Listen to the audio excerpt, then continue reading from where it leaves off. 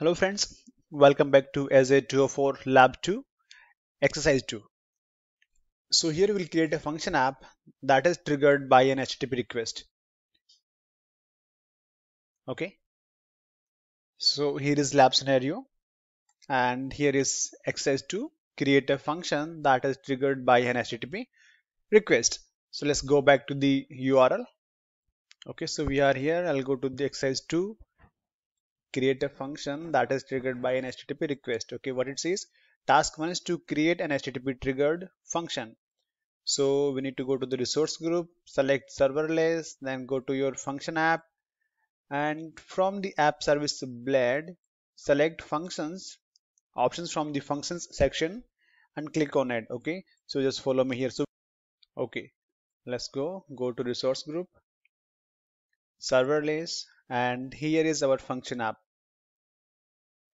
then from functions here we need to click on add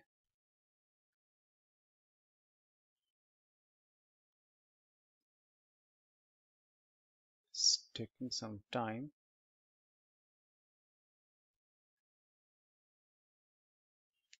okay so here you can see there are different triggers available or templates available to create functions. So create a new function in this function app, start by selecting a template. So you can create different type of function. I mean, based on the trigger type.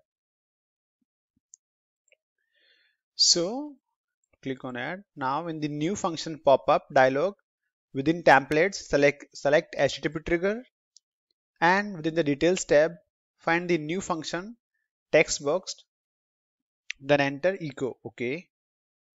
So now we need to create a new function, HTTP trigger based function.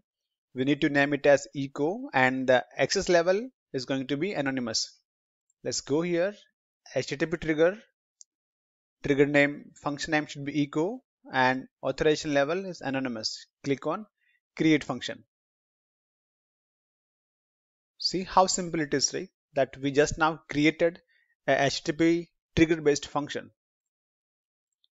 create function done. Now next steps to write function code. So in the function blade select code plus test from the developer section. Okay now let's go here. Here is code plus test under developer section. So here is a default code from the template. Now it says find the example run.csx from a script. Okay so this is our run.csx delete all the example code okay and add the following line of code to implement the microsoft.asp netcore.mvc mvc namespace. So we need to delete everything and we need to add these two imports okay? Let's go. I'll just delete everything from here. I'll first add the first one mvc second we need to add using system.net namespace. So I'll just paste this one here. Add the following code block to create a new public static method named run that returns a variable of type iaction result okay? And that also takes a variable of type http request and ilogger as a parameter name. Perfect. So let's copy this one. So if you see this is our new function called run.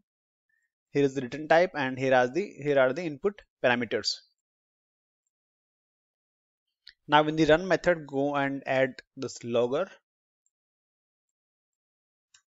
Just need to copy here. It says log dot log information received a request. Okay. Now this is what we are supposed to return out of this run method. Return new OK object result request body. Observe the run.csx file. It should look like this. Click on save now we need to test so we'll first go. We'll see the method first. So here we imported two namespace. One is microsoft.aspnetcore.mvc and system.net and here is our run method. Here is the returning type and it's taking two input. And here we are just printing a message saying request received a request and this is the response returned. I'll simply click on save. Now we need to test this particular function okay so now task 3 is to test function run in the portal. Select test slash run. in the pop-up dialog that appears. Perform the following actions. In the input tab in the body text enter the following json. Okay let's copy this one. Let's go and test this function. So if you see here we have a tab called test run. And in the message body here just put the message. It says hello world. Now let's click on run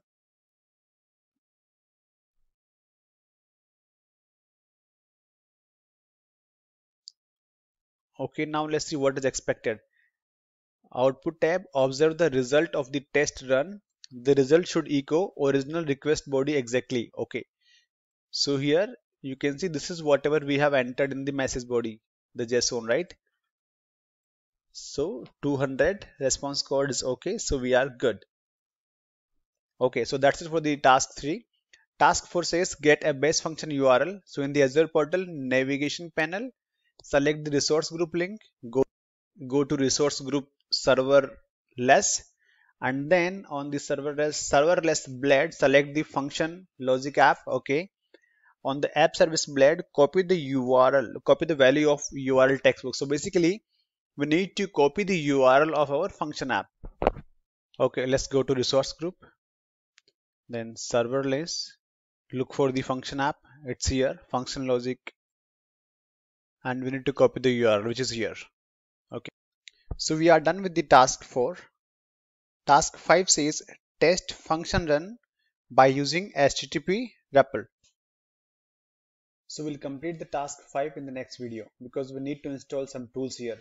We first of all we need to have .NET Core SDK then we also need to have http REPL installed. Then only we can test our function app. So that will cover in the next video. Bye for now. I'll catch you in the next video